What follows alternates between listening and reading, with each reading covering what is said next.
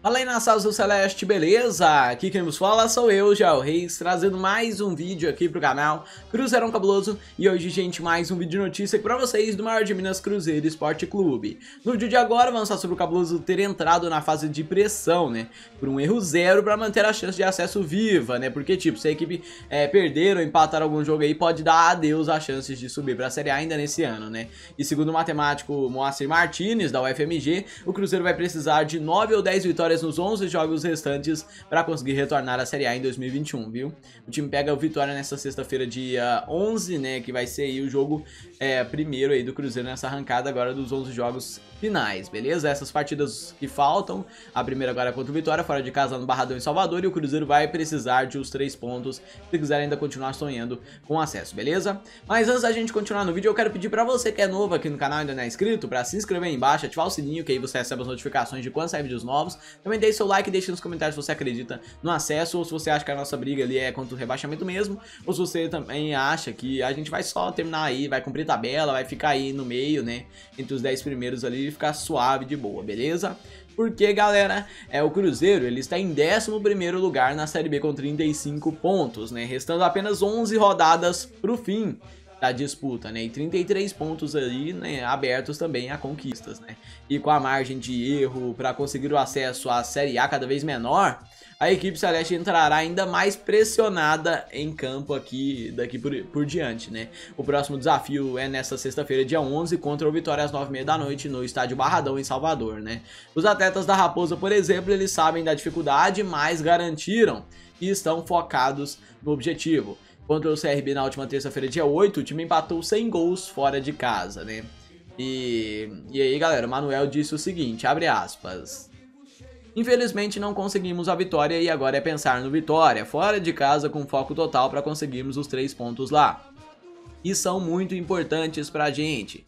Neste momento é manter o foco e sabemos que é difícil, mas sabemos trabalhar para a gente conquistar, ou melhor, mas vamos trabalhar para a gente conquistar essa vitória, afirmou aí o zagueiro Manuel. E galera, ao Super FC, por exemplo, o matemático Moacir Martinez, ele atualizou os números que envolvem a tentativa do retorno do Cruzeiro à primeira divisão.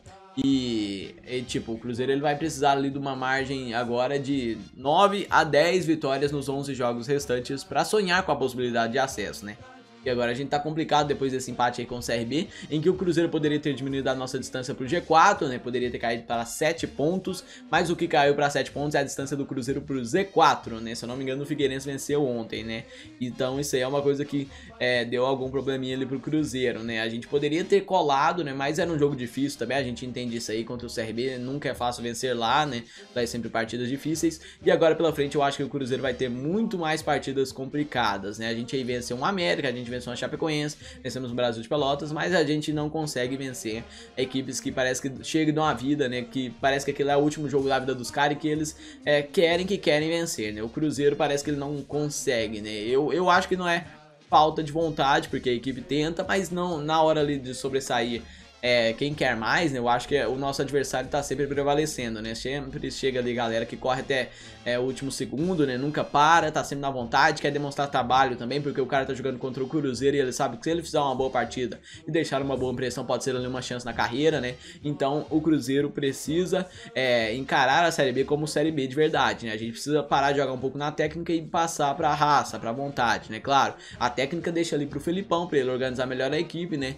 E buscar ali a melhor maneira maneira de atuar. Mas os jogadores dentro de campo têm que querer e tem que dar 100%, né? Eu sei que não é muito legal a gente ficar cobrando porque os salários estão atrasados, eu sempre friso nisso, né? Mas é, eu espero que eles joguem aí, pelo menos por nós ou pelo clube, né? Pelo menos é, por eles próprios, né? Não vai ser muito legal o cara ficar jogando mal aí de propósito, né?